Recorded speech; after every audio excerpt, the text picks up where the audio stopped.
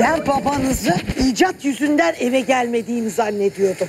Meğerse sizin yüzünüzden eve uğramıyormuş. Siz gidince gizlice geliyor, suyunu yemeğini veriyorum gidiyor. Ben babanızı en son gizlice ne zaman eve aldım siz onu biliyor musunuz? Öyle devam etme artık yeter ya. Ezan vakti, yatsı vakti bağırma ya. Lan lan ne oluyor orada lan? Anam evimi terk ediyor. Yettim.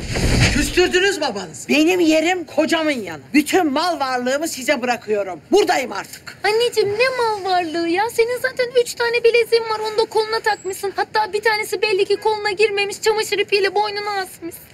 Ya anne bizi rezil ediyorsun bak. Anası kocaya kaçtı diyecekler.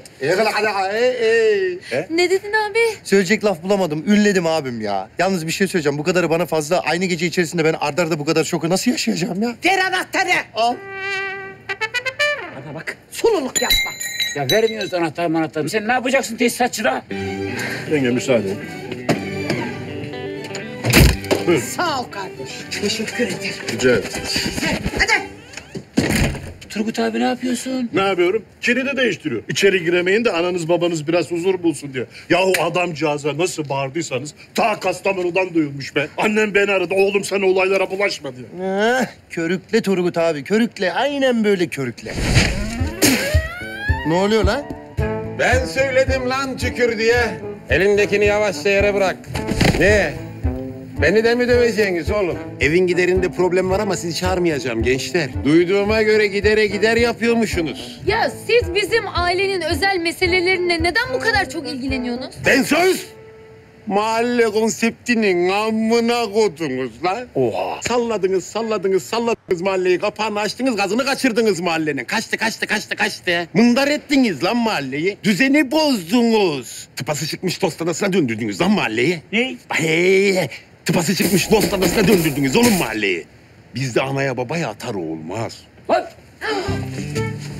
Size itilik bile yapmıyorum. Ona bile layık değilsiniz. Yatsıya gidiyorum. Gelen var mı mübarekler? Vay anam, vay, vay, vay. Son galede yıkıldı. Bu mahallede çok acayip şeyler oluyor Targat. Çok acayip şeyler oluyor. Siz babanızla barışmadığınız sürece burası YSK'nın önü gibi karman çorman. En son rahmetli Bülent abi de babasına böyle bağırdıydı, daş oldu, daş. Meydanda duruyor. Ne daşı lan? Heykelini diktiniz adamın. Ne?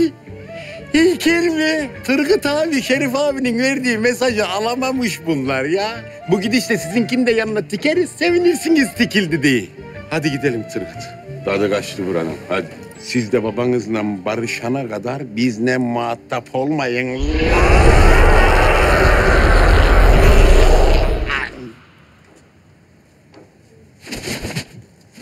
Bakayım. Adam önce ıslattı sonra kuruttu ya lan. Anam. Ne yapacağız şimdi? Ne yapacağız? Babamızın gönlünü alacağız. Hadi o zaman hadi. Ben diyorum ki mesela şöyle bir şey yapalım. Seyirciler hazır mıyız?